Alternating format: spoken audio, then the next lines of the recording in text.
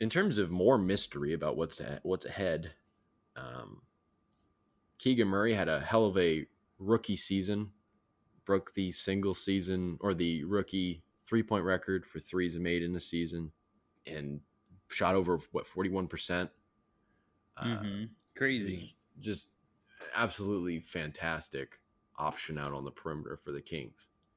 Um, and he has made strides in in other aspects of the game. I feel like you saw his defense kind of have various moments, kind of starting in the midpoint of the year, and he's he's kind of slowly progressed there. He's really progressed in his confidence and his, his rebounding ever since that first time Mike Brown called him out in a press conference is generally very good. I feel like he's a pretty consistent, like five or six rebounds a game as of late. But comes another phase of being a professional basketball player that's not even easy for people that have been in the league for a while. When it's your first playoff series, it's a hell of an adjustment. What do you expect from Keegan Murray in the playoffs? That's a tough question because he's a rookie on a big stage. But it's also like, well, if anyone was going to do well, it'd be Keegan Murray because he's just, I mean, he made 200 threes in his rookie year on the third best team in the West. So it's like you think he has that confidence and that poise to keep performing well in the playoffs as a rookie. And I think he can. I, I think at the end of the day, just to say it, I, I don't know. I feel like that's half of our answers, right? It's like he could be just the same old Keegan Murray because he's ha- he's that kind of rookie. He's just a calm, collected guy. But man, sometimes we'll see Keegan Murray go cold, and it's like, geez, like stop shooting, dude um, which I appreciate when he doesn't stop shooting. It means he doesn't lack confidence, I guess. But I mean, making making big threes in the playoffs that can be tough.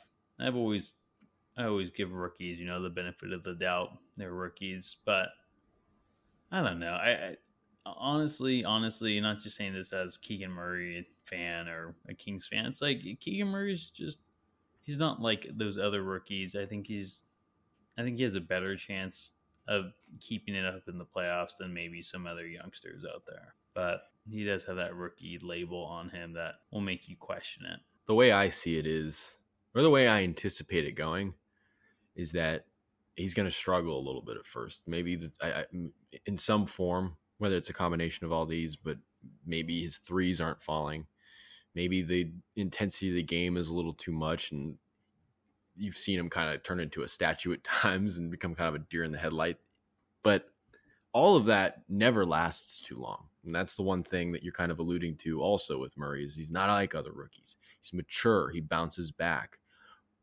When I said like the playoffs is being is an adjustment, it's just another adjustment for Keegan Murray. Whether it was having to adjust from getting used to NBA travel and the off the court matter that happened in November, he bounced back. He figured it out. Uh, it seemed like for a second there, maybe it was in February or early March, it kind of seemed like he was cooling off for a second there. And we talked about it, and it just felt like it seems like another adjustment. You're getting to this kind of end of the season where teams are getting guys back and coming back at full strength and really gearing up for what lies ahead. And it didn't take him very long to get back going.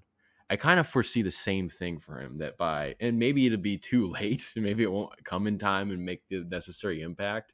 But in terms of playing the long game, of playing down the line, I, I wouldn't be surprised if he struggles for the first two or three games and then kind of just starts playing like the normal Keegan Murray. It'll be really interesting to see what happens if the threes are falling or not, because if the threes aren't falling, and I'll get to this when we start when we get to our predictions, but it's like as much as you don't want this to happen in the playoffs because you can't rely on this to win a championship. But in the first round against the Warriors, you're going to need three point shooting to go down.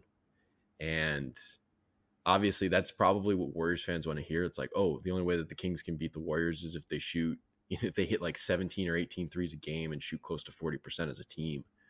Um, but sadly, that's going to have to be a factor at some point.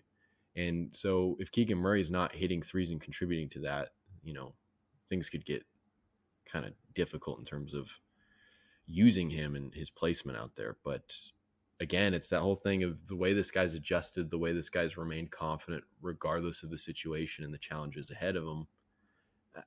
I just that's kind of, and you're kind of saying this two, this twofold thing, like, well, we don't know because he's a rookie, but he's also not like other rookies. And I think for that reason, that synthesizes into this. I don't want to call it a forecast, but this prediction that he'll he'll struggle for a game or two, maybe three, and then kind of get it going, or at least get back on the wagon, as it were. Does that sound crazy? No, I, I think that's a really excellent prediction. Actually, I, I kind of kind of what I was saying, I guess, in a way, but really laying it out there and what might actually happen.